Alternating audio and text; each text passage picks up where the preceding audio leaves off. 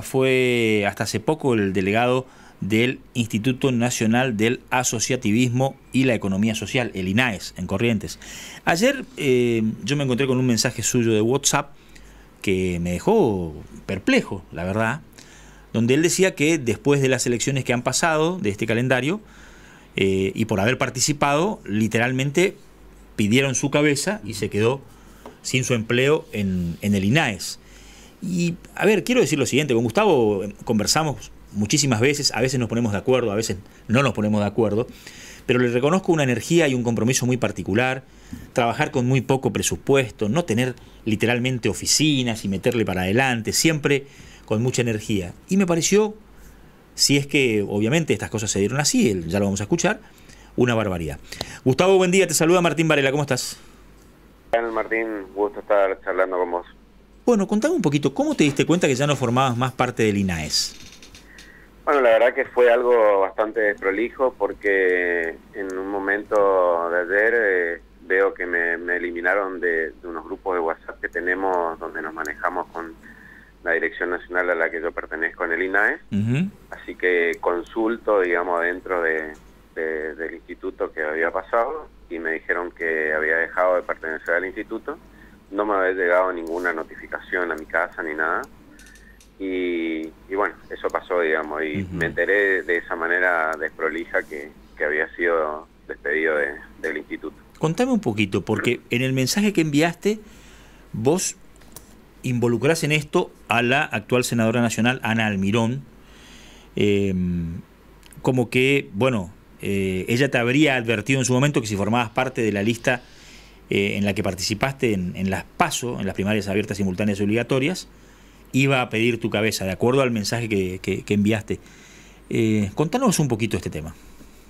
Bueno, eh, fue lamentablemente así, digamos, en algún momento cuando estábamos trabajando en la construcción de una lista alternativa con Alejandro Carlen para, para participar en las PASO, tuvimos una, una conversación eh, café por medio con, con la senadora Ana Almirón y, y me transmitió eso, digamos, de que yo le, eh, me había preguntado primero en un momento si, yo tenía la intención de, participar, le dije que sí, y bueno, me dijo que eso le iba a perjudicar en su candidatura, y, y bueno, le dije la verdad que los espacios están muy cerrados, así que vamos, vamos a elegir esta alternativa de participar en las pasos y para eh, esperar un, lugar, digamos, dentro de lo que es eh, eh, esta posibilidad de candidato.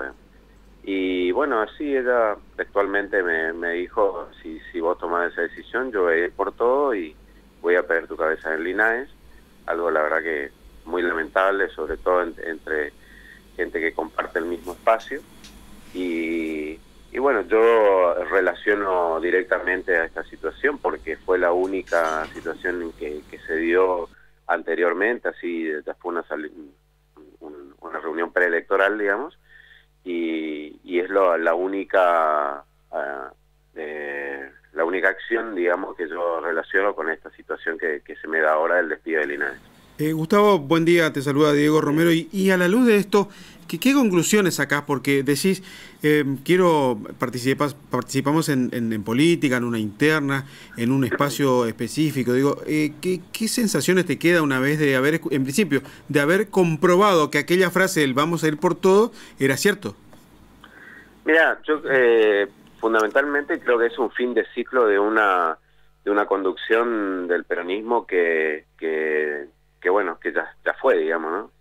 Eh, no, no, no por ni siquiera por nombre, sino por metodología. Acá creo que eh, ni, por sector, más allá de que, de que la, senadora pertenezca a un sector específico dentro del peronismo, eh, acá es un fin de ciclo, digamos, un fin de ciclo de, de una conducción del peronismo y de lo que es el frente en sus diferentes variantes estos años, que ha llevado a la derrota hace más de 20 años a mano de, de, ECO y sus diferentes variantes también, y que, que bueno, es, es, un, es un tope, eh, llegamos al fondo del pozo y, lo, lo, único que nos queda es empezar a salir para arriba, así que creo que eh, son actitudes que siguen demostrando que, que están nerviosos, que terminaron un ciclo y que, que, se dieron cuenta pero no, no quieren ceder, que tienen que hacer un paso al costado y, y que, que, bueno, que tiene que venir eh, eh, una, una generación nueva de dirigentes que, que no tiene que ver con la edad, porque la mayoría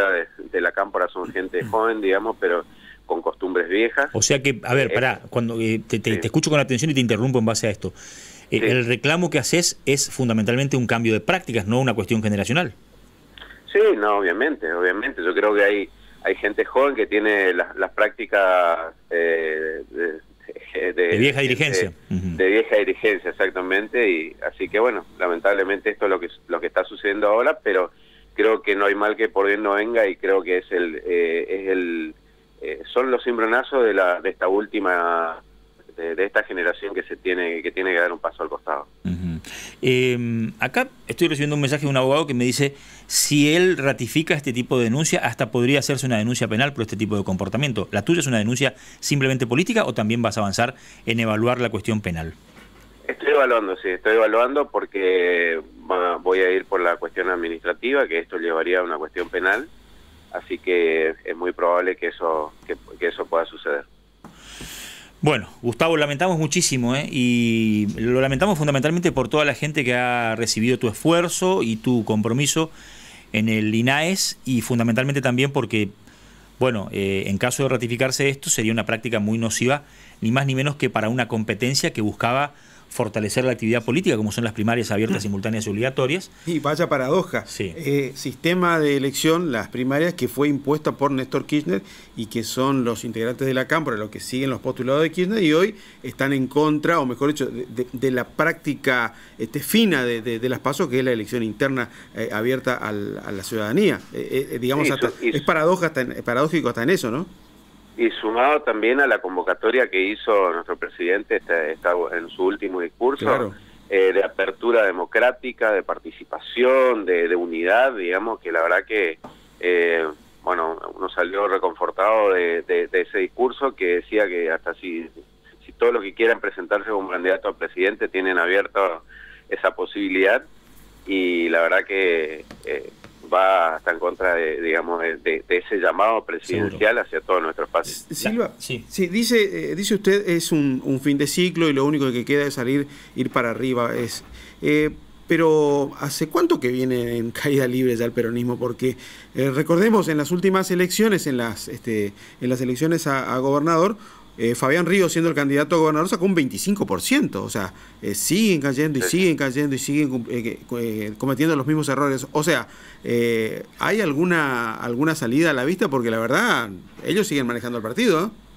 Sí, sí, la verdad que, esa es la, triste realidad, pero acá lo que nosotros nos dimos cuenta, trabajando con, nuestro espacio para el espacio y, y todas las recorridas que hice yo durante estos años en, eh, desde el INAES me di cuenta que eh, eh, la gente del interior, toda lo que es la base y la, la, segunda línea de la dirigencia del peronismo y de todos los, partidos que componen el frente, el frente de todo en este caso ahora, llegaron a un hartazgo, digamos, muy fuerte y, bueno, nosotros la verdad no, no tuvimos la posibilidad de, de hacer una campaña como la gente, porque fue judicializada nuestra lista, porque nos bloquearon eh, las publicidades gratuitas, entre otras cosas, pero con creo que los 30.000 compañeros que, nos acompañaron en las pasos están mostrando que, que necesitamos otro camino dentro del peronismo y que y que eso se va a dar eh, paso a paso. Gustavo, un dirigente justicialista que está escuchando la nota me pregunta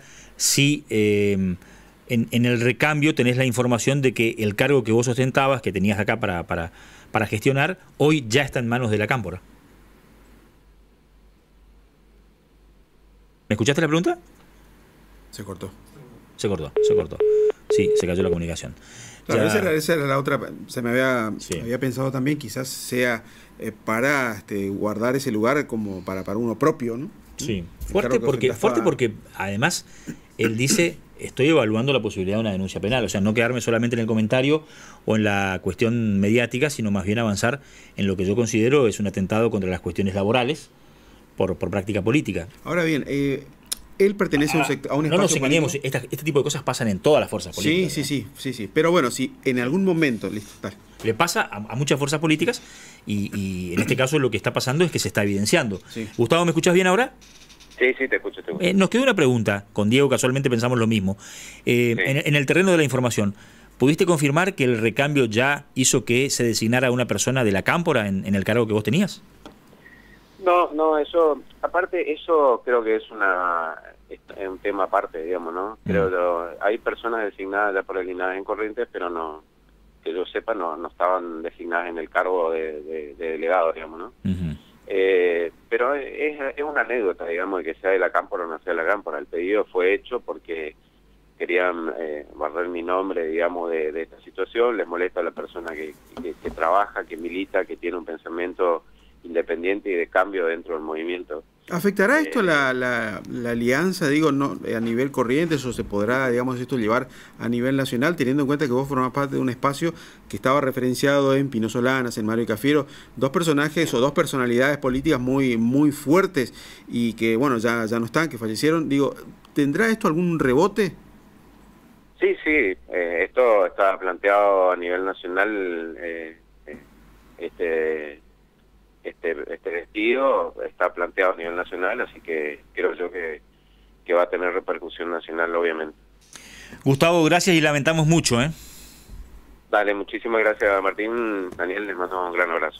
El doctor Gustavo Silva dejó de ser el delegado del INAES en, en Corrientes y, y bueno, eh, hace mucho ruido esto, me imagino que también en algún momento vamos a tratar de contactar a la senadora Almirón para conocer su punto de vista respecto de este tema. Porque la acusación fue directa. Directa, directa, sí, sí. Además dijo, evaluó la posibilidad de hacer una denuncia penal Sí.